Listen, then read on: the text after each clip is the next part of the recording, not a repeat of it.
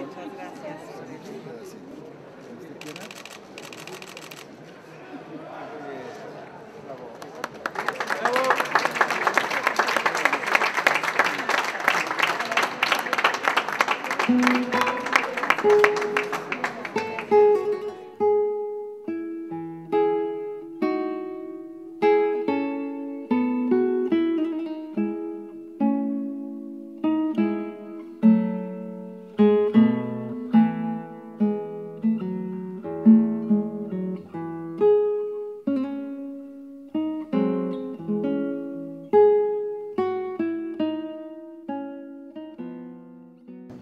La Unidad Coajimalpa de la Universidad Autónoma Metropolitana les da la más cordial bienvenida y agradece su presencia a esta ceremonia de inauguración de la Cátedra Miguel Ángel Granados Chapa. Nos acompañan en el presidium el maestro Norberto Manjarres Álvarez, secretario general de la UAM.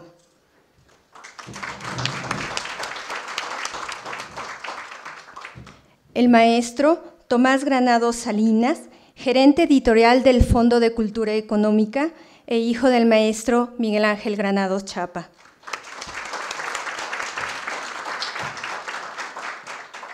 La doctora Caridad García Hernández, secretaria de la Unidad Coajimalpa. La doctora Esperanza García López, directora, directora de la División de Ciencias de la Comunicación y Diseño de la Unidad Coajimalpa. El doctor Gustavo Rojas Bravo, jefe del Departamento de Ciencias de la Comunicación. Y el maestro José Reveles, titular de la cátedra Miguel Ángel Granados Chapa.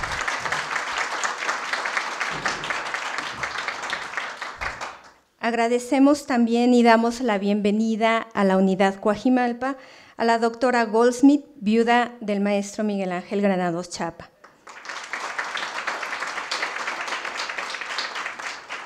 Para dar inicio a esta ceremonia, tiene la palabra el maestro Norberto Manjarres Álvarez. buenas tardes. Van a disculpar un poco el timbre de mi voz, espero que no sea desagradable y que sea agradable lo que trate de decir. Son mis mejores deseos. Distinguidos compañeros que estamos aquí en el presidio, para mí es realmente muy satisfactorio acompañarlos en este proyecto de la universidad. Entonces, doctora Caridad García Hernández, doctora Esperanza García López, profesor José Reveles, titular de la, de la cátedra, maestro Tomás Granado Salinas, eh, doctor Gustavo Rojas Bravo, eh, tanto a usted como a la doctora Esperanza, muchas gracias por esta invitación para estar con todos ustedes. Trataré de enmarcar lo que significa la cátedra para la institución, el concepto de la cátedra. La legislación de la Universidad Autónoma Metropolitana concibe las cátedras universitarias como un espacio para la contratación de personal que por su trayectoria posee cualidades académicas excepcionales, es decir, aquellos que tienen una elevada habilitación y que además han sobresalido en el desempeño de sus funciones. También establece que a su creación se les denomine con el nombre de un científico, humanista o artista que haya contribuido significativamente al avance de las disciplinas que se cultivan en la división que las ocupa en el caso de la División de Ciencias de la Comunicación y el Diseño, el Consejo Divisional decidió nombrarla Miguel Ángel Granados Chapa como un homenaje a las invaluables aportaciones del periodista hidalguense a la prensa nacional, a la comprensión de un México en transición y lleno de contradicciones, así como a la formación profesional de varias generaciones de comunicadores en las aulas universitarias. Hay que recordar que nuestra Casa de Estudios ha reconocido sus contribuciones, al menos en dos ocasiones recientes. En la sesión 306 del Colegio Académico, realizada el 16 de febrero de 2009, se le otorgó el doctorado honoris causa y el 8 de marzo de ese mismo año, en la unidad Xochimilco, puso su nombre al auditorio de los talleres de comunicación.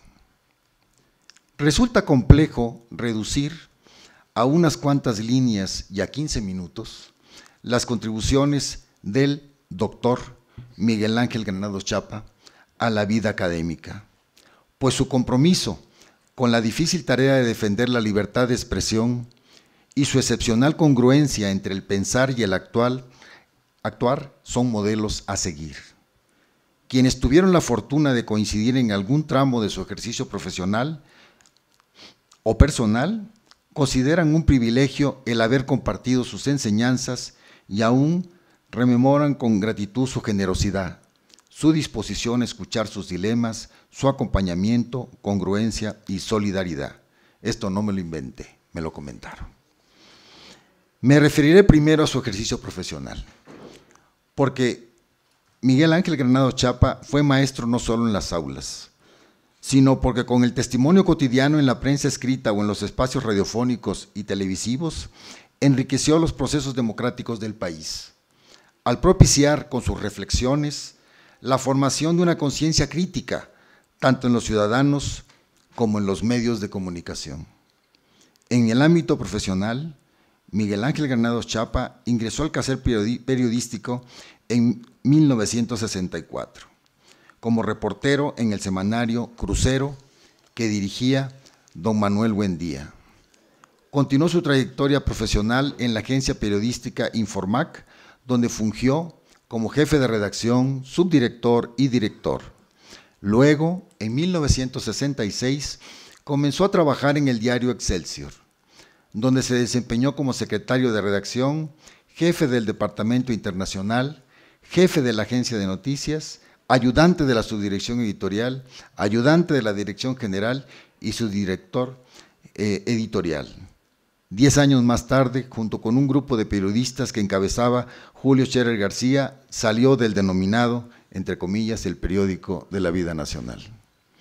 A partir de ese momento, demostró su gran compromiso con el gremio y con la defensa de la libertad de expresión, compromiso que manifestó durante toda su vida el 19 de julio de 1976, solamente 11 días después del golpe Excelsior, sumándose al arduo trabajo que implicó la creación del semanario Proceso, sin dinero, lo primero que se hizo fue una venta de acciones en el Hotel Marisabel, en en la que el orador principal fue Miguel Ángel Granado Chapa. Vicente Leñero en su novela Testimonio, Los periodistas, al describirlo dice, cito, este era su género, el ensayo, el editorial, que traduce criterios grupales y no exclusivamente los propios, el discurso medido y exacto en sus planteamientos. Cierro comillas. Durante los primeros meses de existencia del semanario, ocupó los cargos de director, gerente y en 1977 dejó la revista. Entre 1982 y 1983 se incorporó como coordinador editorial y su director a uno más uno. Posteriormente contribuyó en la fundación de la jornada. Otra vez, la recaudación de fondos fue mediante la compra de acciones que se llevó a cabo en el Poliforum Cultural Siqueiros del Hotel de México. Nuevamente, entre los periodistas que anunciaban el nacimiento del nuevo diario, estaba Granado Chapa. En este periódico fue su director y director de 1988 a 1990. También fungió como director general de 1990 a 1994 del semanario Mira, antecedente de lo que años después sería la revista fotográfica Cuarto Oscuro, publicación que ahora dirige Pedro Baltier. Las páginas editoriales del diario Reforma se engalanaron con la columna política Plaza Pública, que se publicó ahí desde su fundación el 20 de noviembre de 1993 hasta dos días antes de la muerte del periodista ocurrido el 16 de octubre de 2011. Durante más de 30 años, ya por primera vez Plaza Pública vio la luz en cine mundial, el 13 de julio de 1977. Los lectores de Miguel Ángel Granados Chapa acudían a la cita con el articulista, ya que ahí encontraban un referente y una imagen nítida del México en el que vivimos, con sus deficiencias, pero también con sus posibilidades, pues con un lenguaje mesurado analizaba los acontecimientos del momento, diseccionaba a los actores políticos, denunciaba injusticias y con información documentada orientaba decisiones e incluso inspiraba acciones. Cada entrega reflejaba su cultura, su conocimiento de la historia y su dominio del idioma español.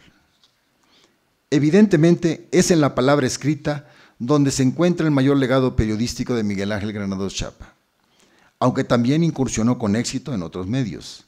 Fue coordinador de noticieros del Canal 11, director general de Radio Educación, analista del noticiero Monitor que conducía José Gutiérrez Vivó, en Radio Red y desde 1996 conductor de lunes a viernes del programa Plaza Pública en Radio UNAM de 8.30 a 9.30 de la mañana.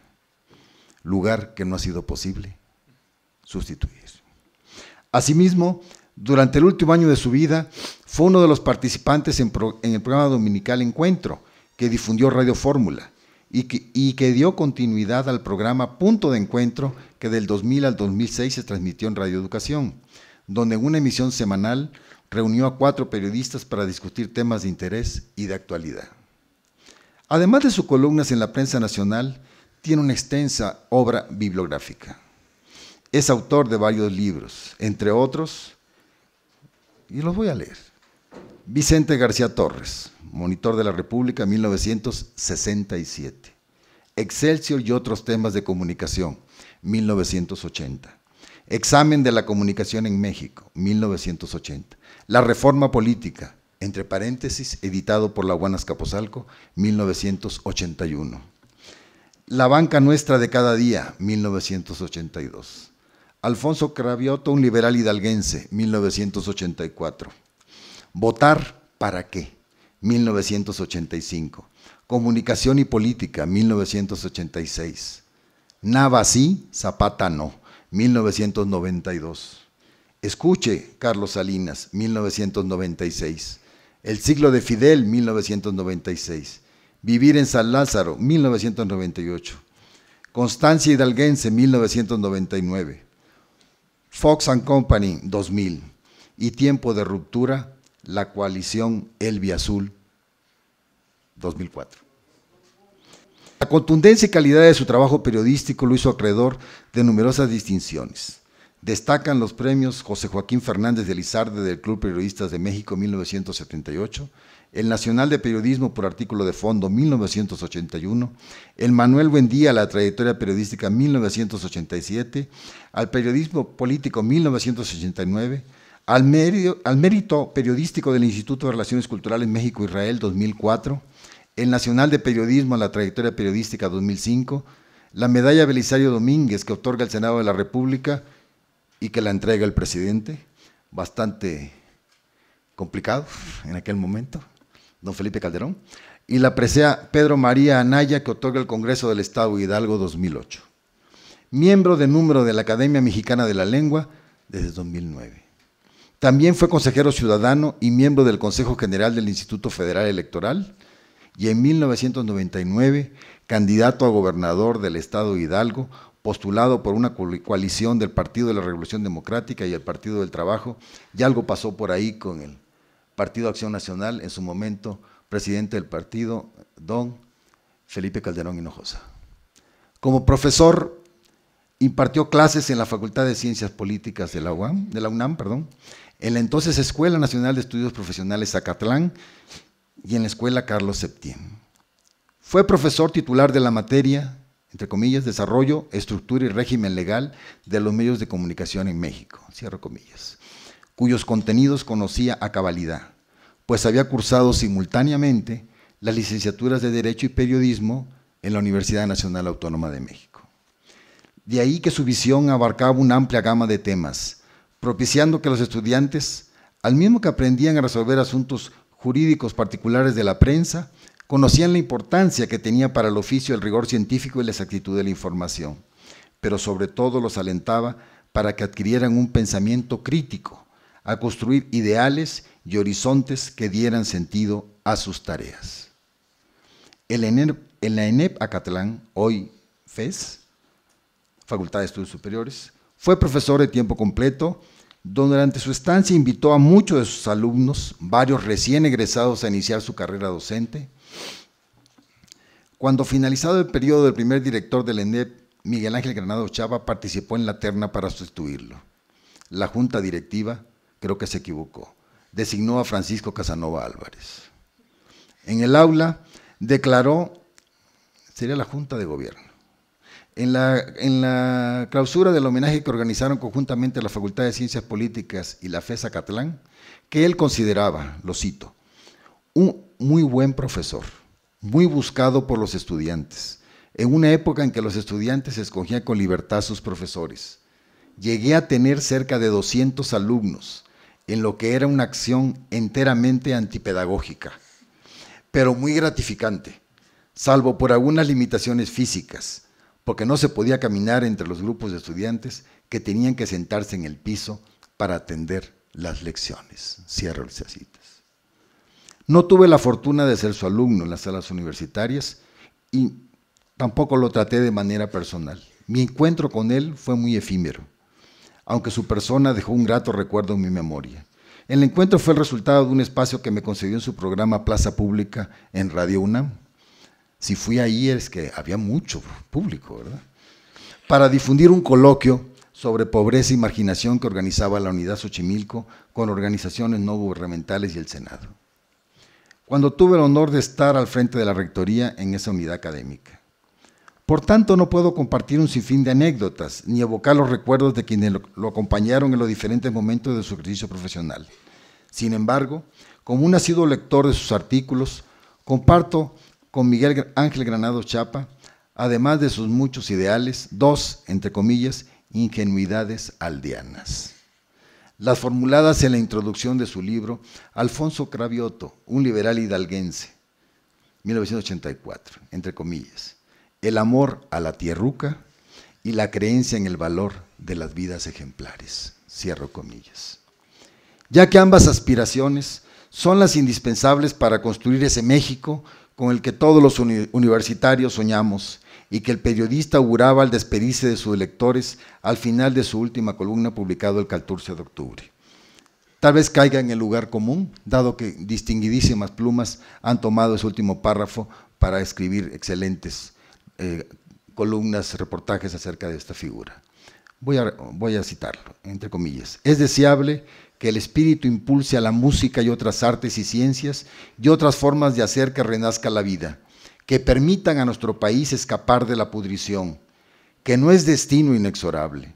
Sé que es un deseo pueril, ingenuo, pero en él creo, pues he visto que esa mutación se concrete. Esta es la última vez en que nos encontramos. Con esa convicción digo adiós. Cierro comillas. Quiero dar la bienvenida a esta casa de estudios al maestro José Reveles.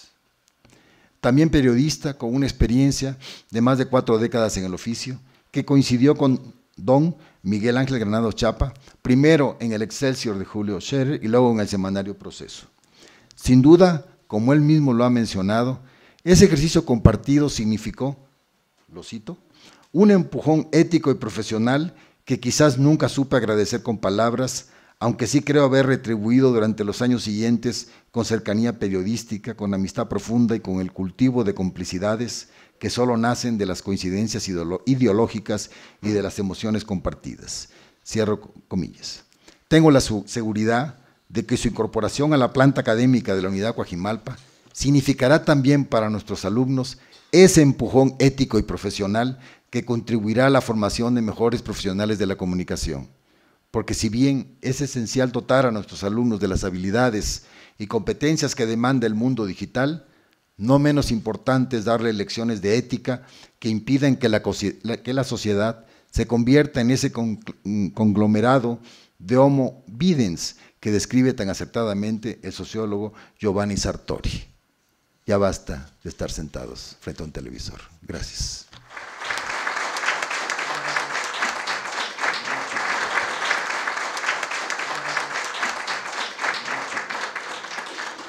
Agradecemos la intervención del maestro Norberto Manjarres y ahora cedemos la palabra al maestro Tomás Granados. Muy bien. Eh, buenas tardes a todos. Eh, muchas gracias a, la Universidad Autónoma Metropolitana, a todos ustedes por estar esta a este mediodía reunidos aquí.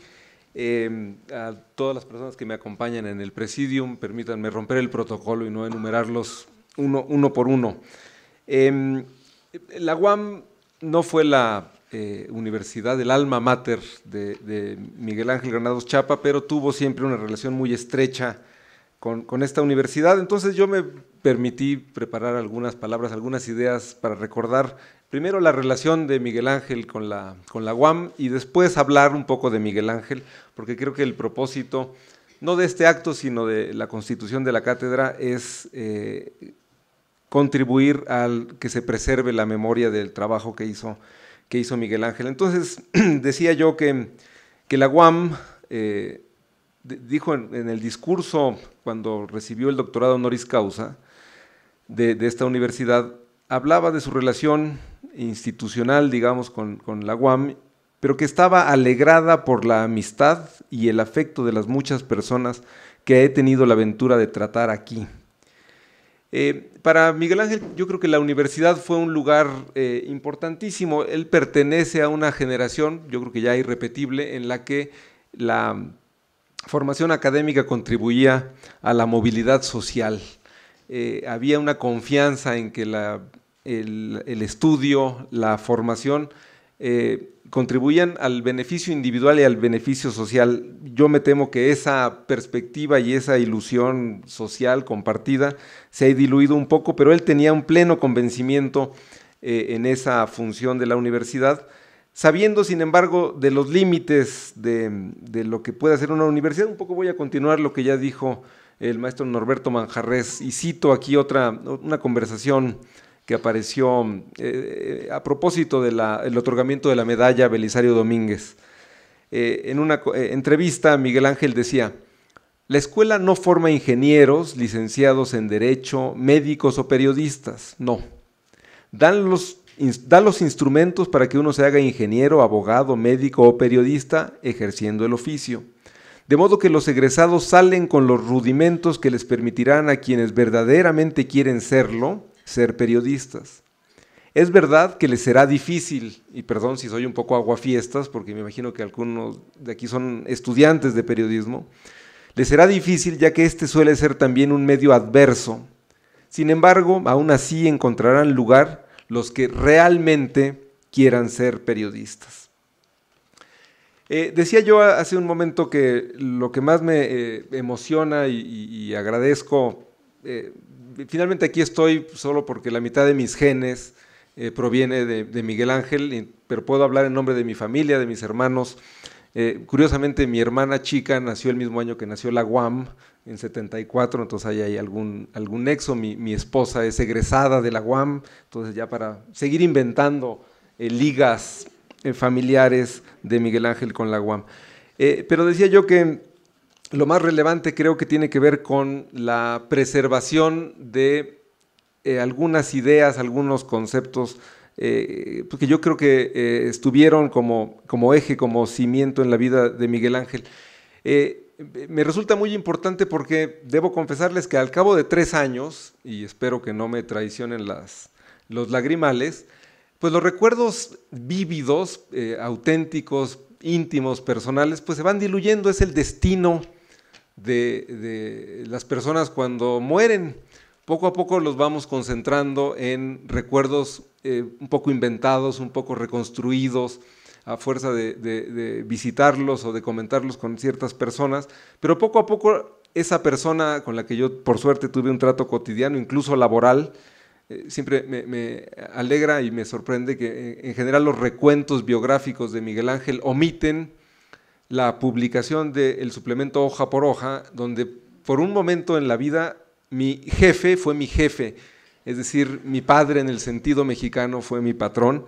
Eh, una temporada excepcionalmente formativa y divertida.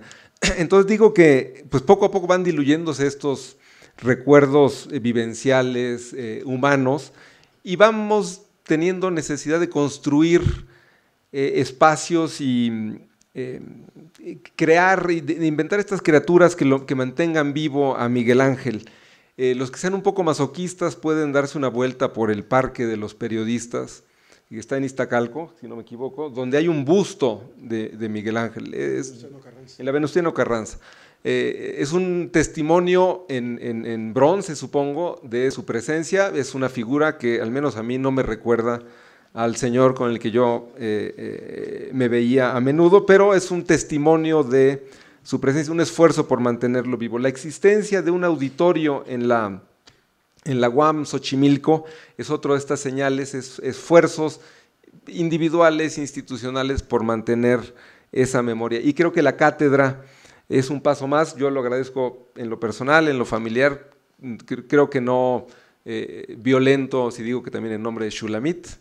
Eh, eh, agradezco mucho a la institución en general, a la Rectoría General y después a las partes pues más locales de, de, la UAM Coajimalpa.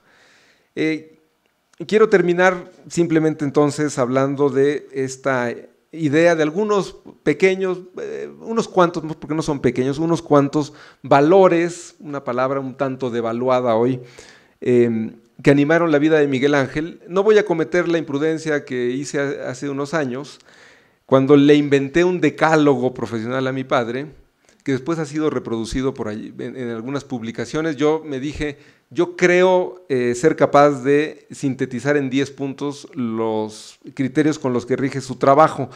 Em, el primer sorprendido fue él, porque digamos lo forcé a aceptar ciertas eh, condiciones que no sé si eran ciertas, pero yo las reconstruí a partir de lo que, pues como hijo, a veces, no, diré que como colega, pero sí en una relación laboral pude tener con él.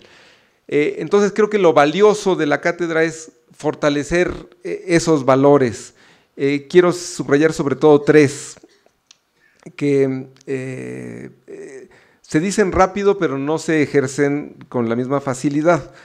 El primero es la autonomía de pensamiento. creo que una aspiración humana en general es a tener un grado elevado de autonomía y en particular de pensamiento, es decir, ser capaz de construir juicios propios para meter la pata eh, por sí mismo, eh, no reproducir, no, no, dejarse llevar por eh, corrientes y por ideas ajenas, es decir, tratar de construir ese espacio de, independencia. Una segunda noción que muy importante fue la, la, honestidad, otra de esas palabras manoseadas, muy acrisoladas, muy decimonónica. Es decir, ser honesto parece ser eh, eh, un llamado anacrónico, pero eh, hay dos, vertientes de la honestidad que me parecen importantes, porque la, palabra es polisémica. Entonces, lo primero es la honestidad respecto, la honestidad como em, símbolo de la incorruptibilidad. Eso es algo que nos... La corrupción está acecha por todos lados a, los seres humanos eh, comunes y corrientes, y no se diga a todo aquel vinculado con el poder, con el espacio en donde se ejerce el poder. Hay muchísimas tentaciones para corrupciones menores y corrupciones mayores. Corrupciones menores que van desde, eh, y eso me tocó eh, verlo mucho, coincidir en un restaurante con una figura política que para, hacer, para quedar bien con Miguel Ángel le pagaba el almuerzo, la cena, y Miguel Ángel se negaba de manera radical. Eso que parece un mero gesto de cortesía de la persona, del, tercero que quiere hacer una caravana, pues era una señal de corrupción, una mínima, em, un mínimo embute, digamos. Entonces ahí había, esa era una de las primeras expresiones de la honestidad, como eh, un eh, dique contra la corrupción. Y después, en otra acepción de honestidad, la honestidad está asociada íntimamente con la verdad, con ser honestos, em, con la honradez. Eh, y no quiero tampoco caer en este salida fácil de decir que cada quien tiene su verdad, pero algo que sí aspiraba Miguel Ángel es a construir em, em, un, espacio de verdad, donde había hechos objetivos documentados, contrastables contra la realidad. No eran opiniones, en general no eran opiniones eh, improvisadas, sino provenientes del el sustrato que debe tener siempre la verdad. Y un tercer valor tiene que ver con la franqueza. Se parece evidentemente un poco a la honestidad, pero yo quiero subrayarlo en dos, en dos temas. Cuando uno es franco, en, en principio debería ser claro, debería tener claridad de expresión. Y si algo se ha también recordado mucho y elogiado mucho de el modo de escribir de Miguel Ángel es que no había ambigüedad.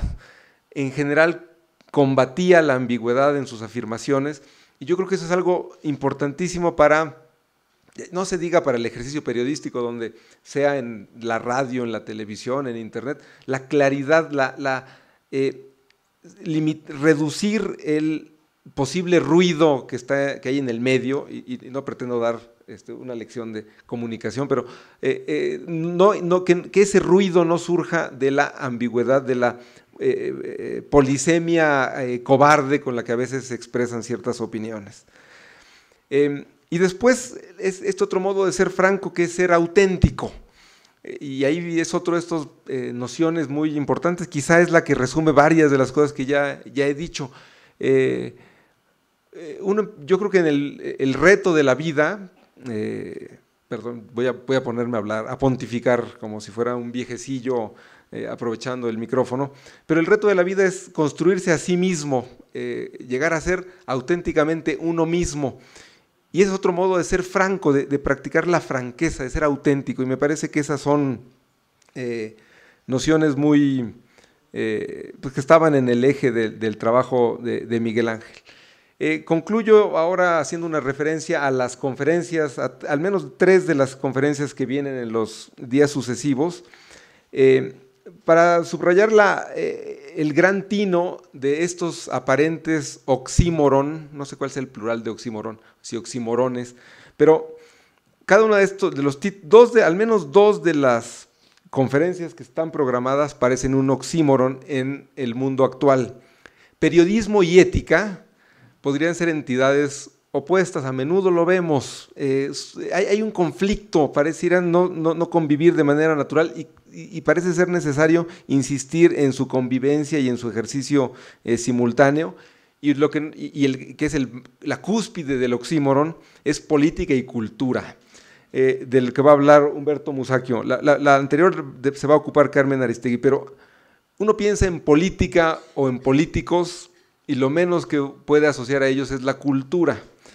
Eh, a veces en la cultura no es tanto así, digamos, yo eh, vivo profesionalmente en el mundo de la cultura y vemos a menudo todo el peso de la política en ese terreno, pero sí eh, este esfuerzo inteligentísimo de la universidad, supongo que en cierta medida de Pepe, a quien agradezco en lo personal, pues la selección de estos Miguel Angelólogos, eh, haber convocado a Carmen Aristegui, a Humberto Musacchio, a Virgilio Caballero y a Francisco José Paoli, eh, pues es, digamos, em, e, el comité de expertos eh, en la vida y la obra de, Miguel Ángel.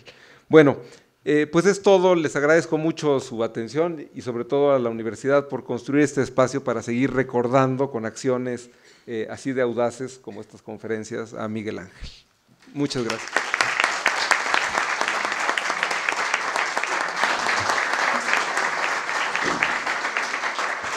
Gracias, maestro Tomás. Finalmente hace uso de la palabra el maestro José Reveles.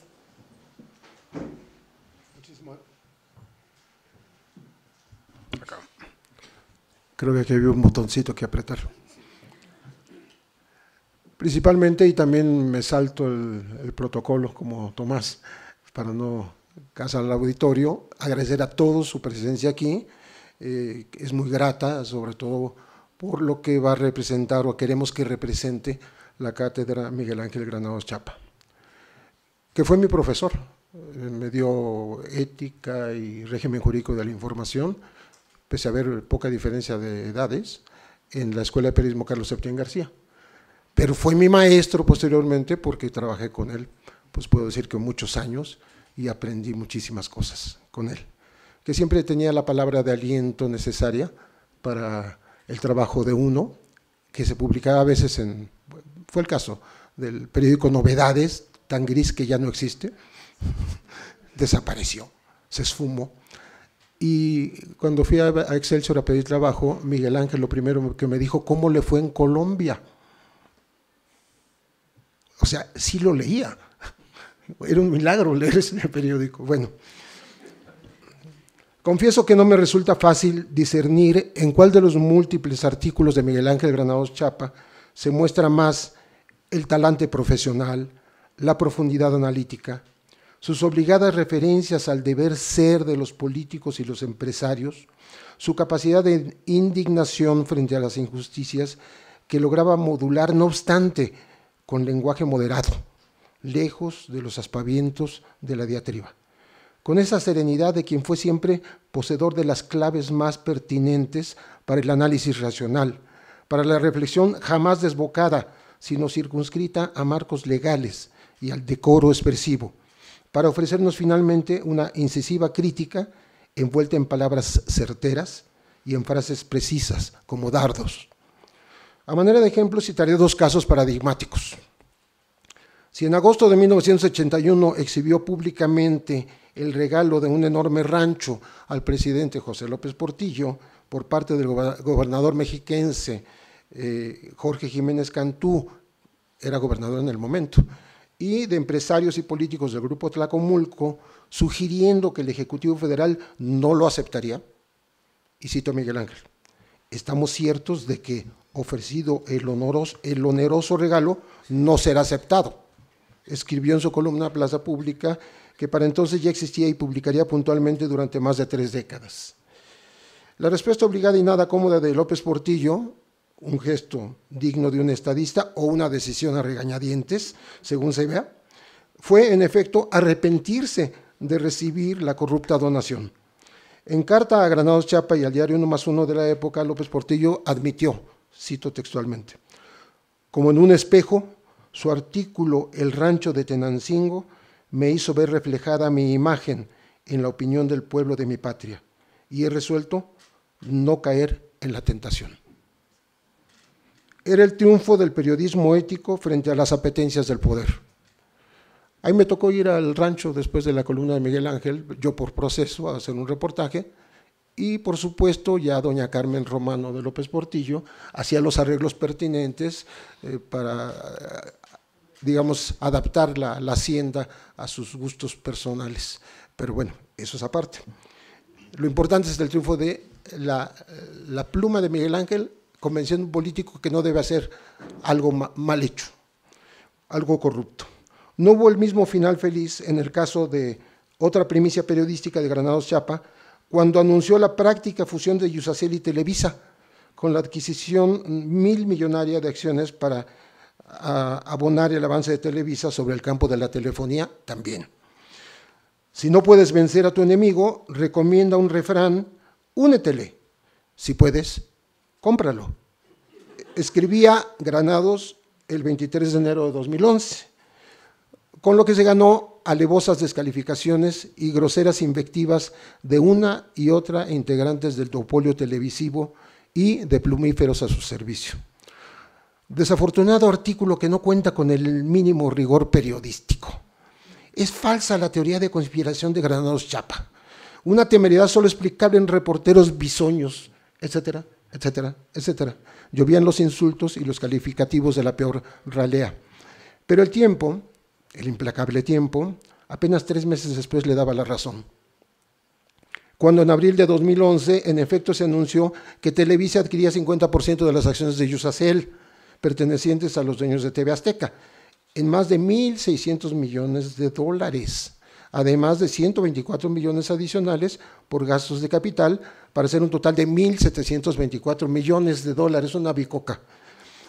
Tres años después, apenas hace ocho días, esto ocurrió la semana pasada, testificamos la recompra que hizo Ricardo Salinas Pliego del mismo paquete, pero pagando solamente 717 millones de dólares. ¿Debemos creer que Televisa perdió 55% de esa inversión multimillonaria de hace tres años? ¿O todo fue un movimiento en libros, bolas de humo en espera de que cambiaran las reglas del juego con el Ejecutivo, el Congreso y la telebancada en línea para encajarnos una nueva legislación que legaliza lo innombrable? ¿Cuánta falta nos hace Miguel Ángel para descorrer los velos de estos milagros de arreglos en lo oscurito?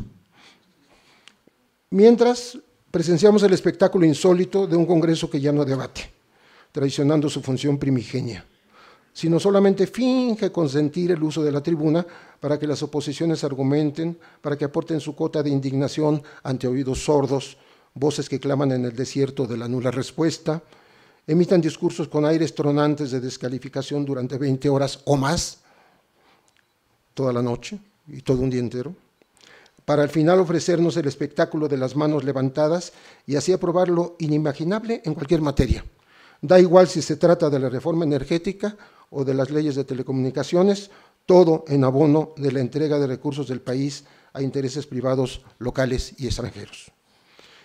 En el primer caso, el periodista, el jurista y el politólogo cuya memoria nos congrega hoy, puso en la mesa de la discusión social, literalmente en la plaza pública, el hecho de que se le hiciera un obsequio ostentoso y ofensivo para la inmensa mayoría pobre del país a un presidente de la República.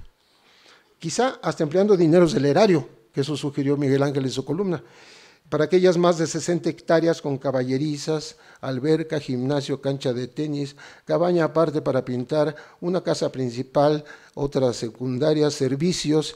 El rancho era ideal, cito comillas, como refugio de un hombre sin porvenir en México, un expresidente. Añoraba José López Portillo, eso dijo. En el segundo asunto eh, que abordó Granados, descubrió las tramas de los poderes fácticos para mantener un predominio que continúa hasta hoy. Pasan los años y los presidentes mueren, pero las televisoras permanecen. Respecto al rancho de Tenancingo, Granados Chapa aplaudió con mesura la decisión presidencial de no aceptarlo. En la alianza Televisa-TV Azteca soportó las más graves descalificaciones y hubo de admitir públicamente en un primer momento, con humildad y hombría, pero sin ceder un ápice en la verdad central, que no pudo verificar la información con las fuentes mismas de Televisa y TV Azteca. Pero el hecho sustantivo existió, diría después, y se confirmó en la realidad. Las dos televisoras aprovecharon el caso para renovar viejas rencillas, perdón, estos son comillas de, él, de Miguel Ángel, aprovecharon el caso para renovar viejas rencillas, porque Granados durante toda su actividad profesional exigió transparencia y examinó la presencia pública del duopolio. Es decir, que nuestro personaje conmovió y convenció a un presidente de la República para que no incurriera en tentaciones de índole económica, política y por consideraciones de su paso a la historia, y obtuvo un éxito periodístico excepcional. Y en cambio, su otra revelación le ganó la enemistad de los poderes fácticos, que llegaron al colmo de la mezquindad, para ni siquiera registrar su tránsito a la otra vida, que para todos nosotros fue, sin duda, su paso a la posteridad. Granados fue maestro de lenguaje, además de un jamás desmentible comunicador. Cuando ingresó a la Academia Mexicana de la Lengua, dedicó su discurso a desmenuzar las libertades de pensamiento y de expresión, eternamente vilipendiadas y objeto de legislaciones absurdas. Cito comillas.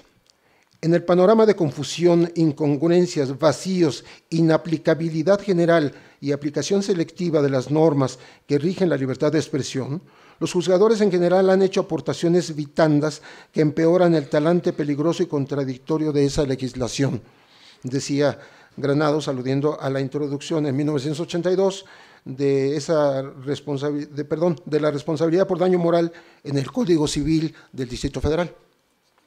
La totalidad de los juicios por daño moral se han instaurado contra periodistas, con lo que medran demandantes abusivos que ponen precio a su honor pues la principal sanción en este caso es una indemnización cuyo monto puede arruinar al castigado, afirmó.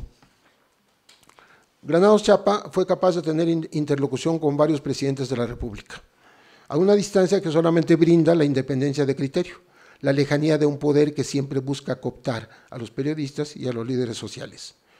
Por su enorme estatura moral, pudo pronunciar, por ejemplo, ante el presidente Felipe Calderón, como decía el maestro, eh, cuando el Senado de la República le otorgó la medalla Belisario Domínguez, no solamente un alegato en defensa de los desaparecidos mexicanos, ahí estaba presente doña Rosario Ibarra, eh, cuya continuada ausencia es una espina en la conciencia de cualquier gobierno, sino también una especie de relatoría, sentencia y epitafio sobre el fracaso que ya mostraba tintes de tragedia humana de la guerra que había emprendido cinco años antes el entonces jefe del ejecutivo, presente.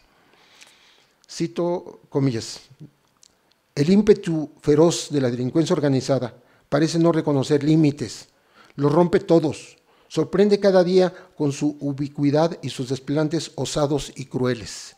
Los poderes fácticos, los que gobiernan sin haber sido elegidos, los que buscan y obtienen ganancia de negocios que atentan contra el interés general, gobiernan en mayor medida que los gobiernos. No sé por qué me recuerda a Michoacán. La lucha de unos y otros poderes ilegítimos contra la sociedad, su éxito en el propósito de dominarla, es favorecida por una situación económica, material, cada vez más adversa, menos propiciatoria que la prosperidad y la expansión, y la expansión de la potencialidad humana. Como su costumbre, ahí, ahí terminan las comillas, como era su costumbre, Granados no cerraba la puerta al optimismo y a la esperanza, daba nortes y visión de futuro, proponía soluciones racionales a lo que él mismo vislumbraba como aparentes callejones sin salida. Cito otra vez, no es un desenlace inexorable, podemos frenarla a la delincuencia organizada. Y hagámoslo, y con la misma fuerza reconstruyamos la casa que nos albergue a todos, o erijámosla, si es que nunca la hemos tenido. Ahora cito yo, la casa para todos. Eso es justamente lo que se propone construir la cátedra Miguel Ángel Granados Chapa, que hoy formalmente cobra vida. Ya hace 38 años, y eso confirma su congruencia vital, porque apenas había cumplido 35 años de edad, Miguel Ángel eh, aludía a un vasto número de mexicanos decididos a que el silencio no cubra por completo a esta nación. Eran épocas ominosas por causa de la represión oficial, por la ausencia de justicia, por la multiplicación de los conflictos sociales y por el crecimiento exponencial de la pobreza. Frente a un panorama, Granados observaba con honda preocupación un, creciente y profundo vacío de compromiso crítico en los medios de comunicación. Esto lo decía hace 38 años él.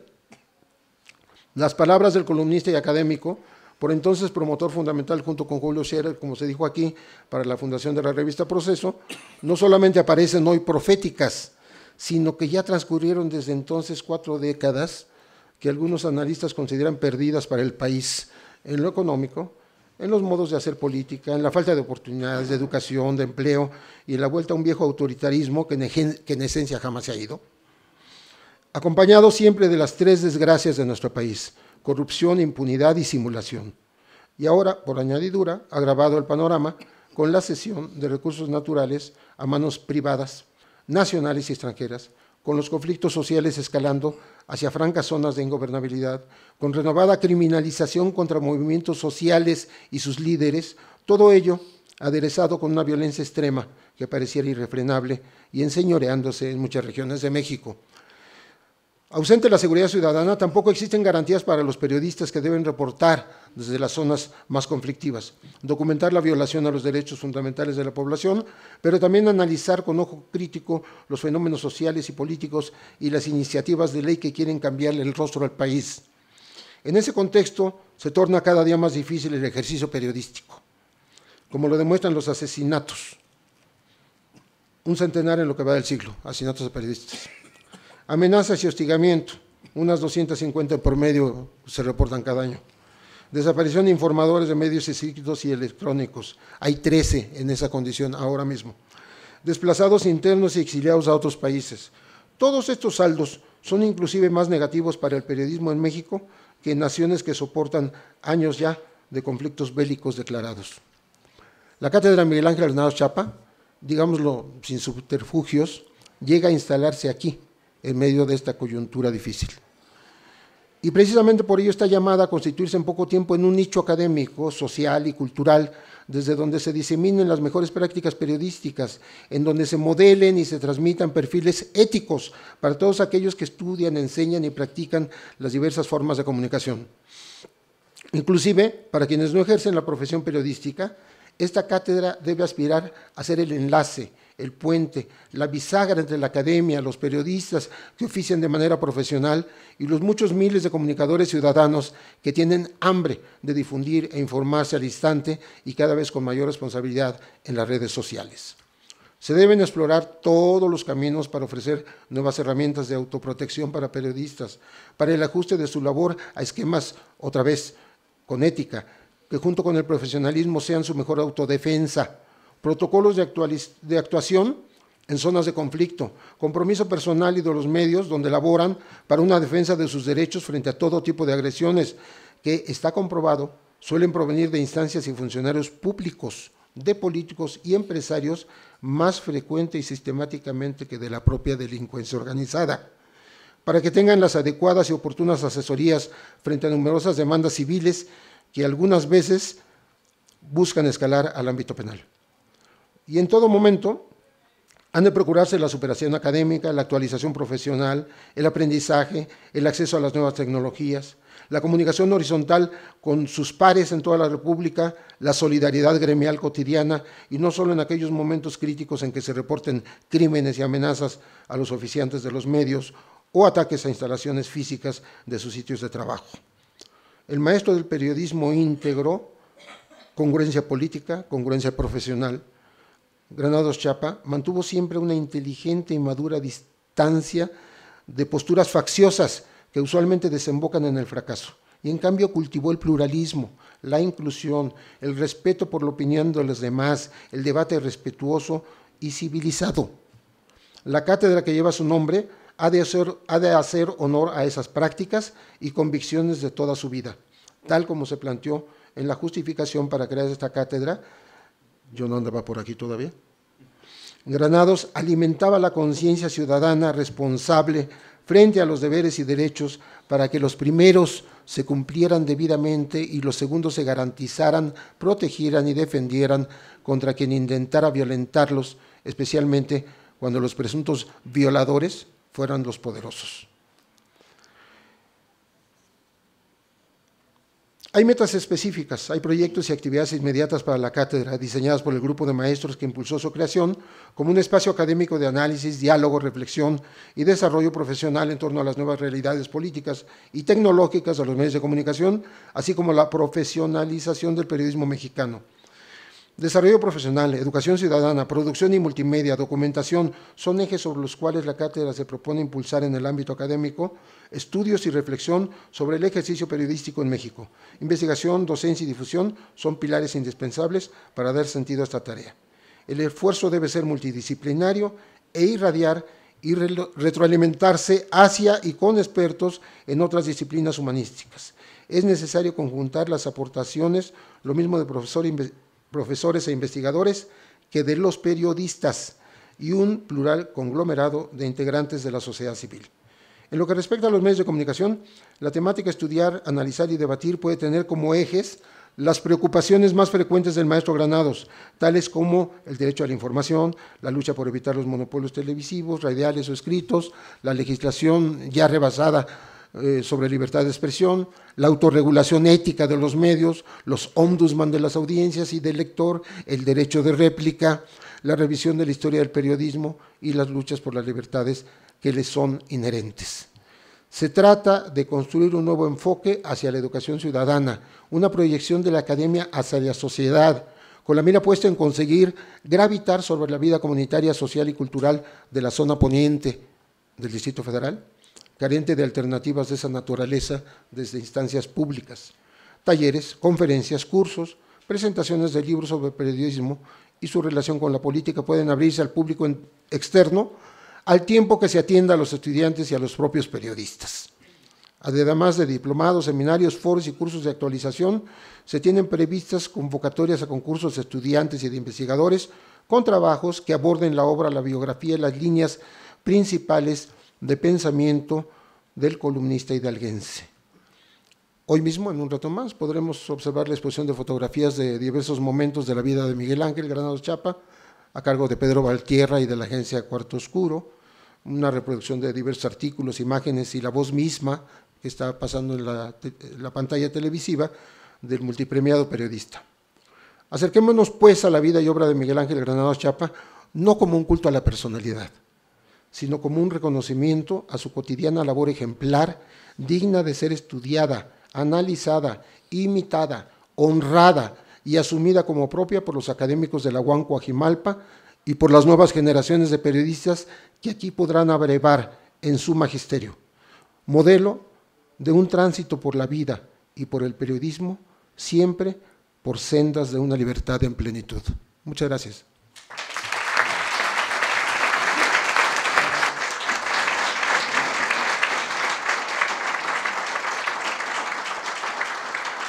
Gracias, maestro José Reveles. Agradecemos a todos ustedes su presencia y reiteramos la invitación al primer ciclo de conferencias magistrales de esta cátedra, que dará inicio el próximo martes 23 de septiembre con la periodista Carmen Aristegui, quien impartirá la conferencia Miguel Ángel Granados Chapa, Periodismo y Ética. El jueves 25 de septiembre le corresponderá al eh, periodista Virgilio Caballero la conferencia Miguel Ángel Granados Chapa, un hombre que sembró un futuro. El martes 30 de septiembre será la conferencia a cargo del periodista Humberto Musacchio, Miguel Ángel Granados Chapa, Política y Cultura. Este ciclo de conferencias concluye el jueves 2 de octubre con la participación del periodista Francisco José Paoli Bolio con el tema Miguel Ángel Granados Chapa, su contribución a la democracia. Los invitamos ahora a todos que nos acompañen al cuarto piso, donde se inaugura la exposición Memoria Gráfica, una selección fotográfica de Pedro Valtierra, director de Cuarto Oscuro. Los invitamos a este recorrido y que nos acompañen a un vino de honor. Gracias y buenas tardes.